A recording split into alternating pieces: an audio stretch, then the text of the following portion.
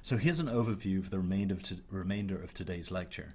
We're going to describe the basic framework of global linear models, and we'll see that they offer a very different way of thinking about these supervised learning problems uh, from the history-based models that I just discussed. We'll talk about parsing problems in this uh, framework, in particular re-ranking approaches. And finally, we'll talk about a variant of the perceptron algorithm, which can be used for parameter estimation in these um, global linear models. So one key idea is the following.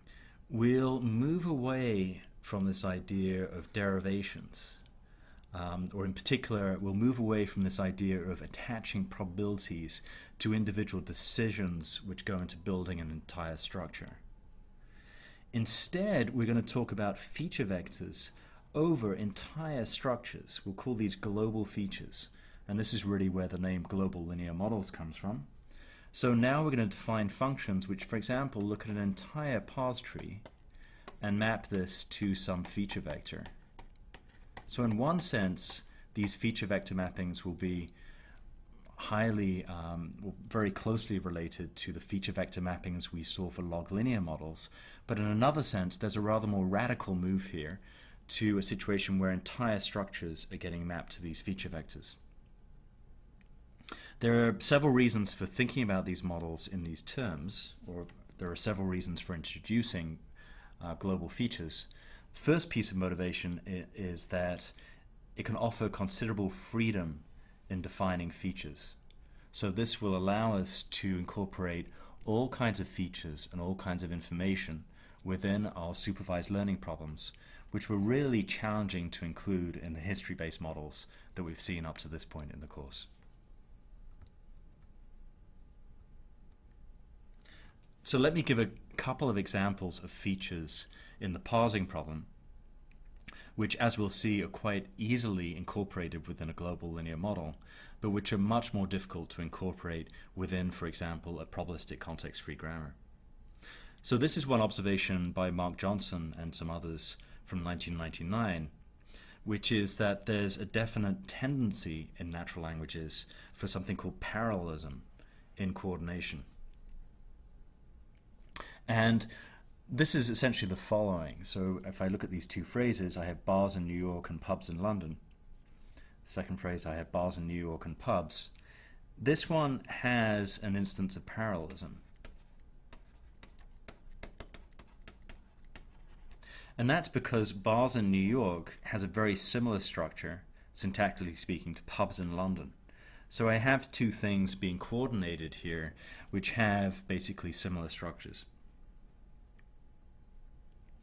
If we look at the second example, this does not have parallelism.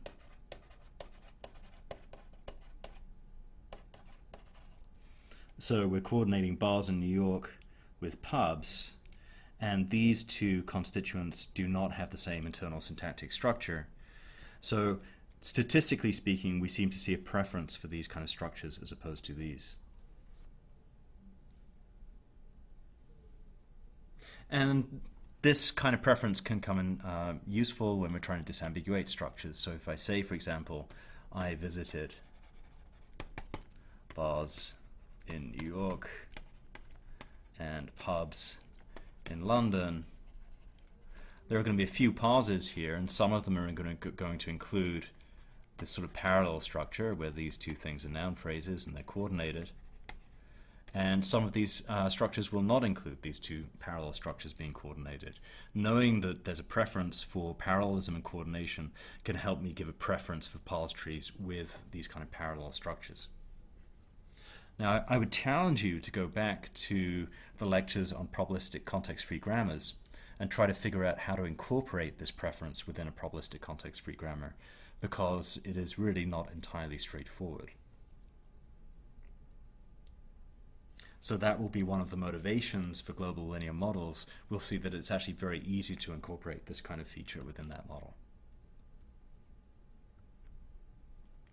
Here's a second example of the kind of features which might be um, useful, but which are again rather difficult to incorporate within a history-based model, such as a probabilistic context-free grammar. These are semantic features. So imagine we have an ontology or some kind of lexicon which gives properties of different nouns and verbs. So one example of such an ontology might be a resource called WordNet, which is a very famous resource that has an information about a very large category of nouns and verbs in English. And this ontology might state, for example, that the word cappuccino has the plus liquid feature, whereas the word book does not have that feature. Okay, so cappuccino is a liquid. And that's important if we're thinking about a verb like pour, where in general nouns which have a plus liquid feature are likely to appear as objects, whereas nouns which are not liquids are much less likely to be objects. So these kind of on uh, these this kind of ontological information, where different nouns have different properties, can be quite useful again in modeling the probability of different parse structures or in disambiguating different parse structures. So say we'd like to build a parser that has a preference for the verb pour taking nouns with the plus liquid feature. Again, I would challenge you to think about how we would incorporate these kind of features within a probabilistic context-free grammar. It is somewhat challenging. Whereas again, we'll see with global linear models, it's relatively easy to incorporate these kind of features.